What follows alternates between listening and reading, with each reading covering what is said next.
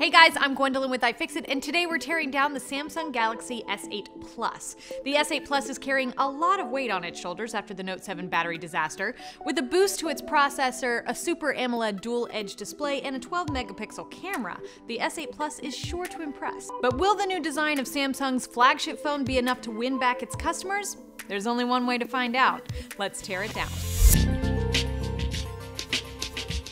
As always, getting in is no joke when it comes to Galaxy phones, and the S8 Plus is no exception. Tons of heat and prying is the only solution to get the rear panel up, but not exactly off since the fingerprint reader lives on the rear panel and is still attached to the motherboard by a small cable. We would have liked to start by disconnecting the battery, but its connector lies trapped beneath the midframe. This midframe is held in place by a ton of Phillips screws and it comes out in pieces, just like it did in the S7 and S7 Edge. This time, the upper antenna assembly is combined with the NFC wireless charging panel.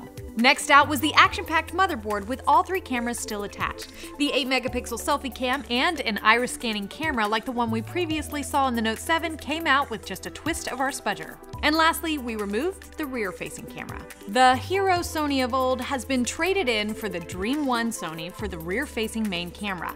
Labeling variations aside though, this appears to be the same camera hardware as in the S7 S7 Edge.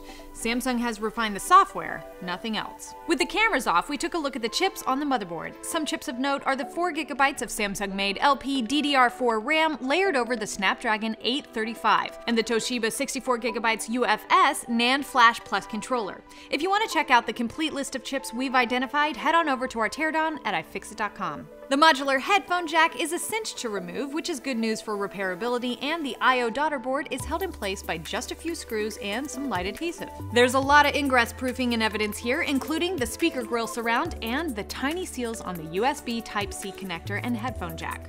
Finally, we decide to tackle that heavily glued in battery, and it's still a bear to pry off that adhesive.